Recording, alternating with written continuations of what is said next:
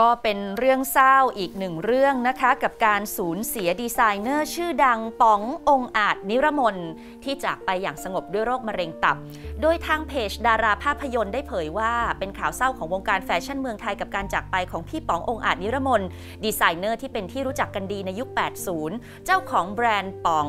และองอาจนิรมนที่โด่งดังและเป็นที่นิยมในความเรียบแต่โก้ของแบบและการออกแบบแพทเทิร์นที่แสนเนี้ยบจนเป็นที่เลื่องลือ ภายหลังล้มป่วยด้วยมะเร็งตับ และเข้ารับการรักษาตัวที่โรงพยาบาลเลิศศิลป์มาระยะเวลาหนึ่ง ที่หอผู้ป่วยอายุรกรรมชายชั้น 3 อาคารการจนาพิเศษ โดยเสียชีวิตอย่างสงบ เมื่อบ่ายวันอาทิตย์ที่ 25 กันยายน 2565 ที่โรงพยาบาลเลิศศิลป์กำหนดสวดพระอภิธรรมศพในวันจันทร์ที่ 16 กันยายนนี้ ณ วัดสารอดค่ะ ขอบคุณทุกคนมากเลยนะครับที่ติดตามพวกเราผ่านรายการ Entertainment Day นะฮะ แต่ว่าพวกเราก็มีอีกหลากหลายช่องทางครับ ไม่ว่าจะเป็นทั้งทาง YouTube แล้วก็ทาง Facebook ด้วย ซึ่งก็สามารถไปเสิร์ชกันได้ที่ True Insight นะครับ ฝากกดไลค์ กดแชร์ Subscribe กดกระดิ่งกันให้ด้วยนะครับ แล้วก็มีอีกหลากหลายช่องทางด้านล่างนี้ได้เลยครับ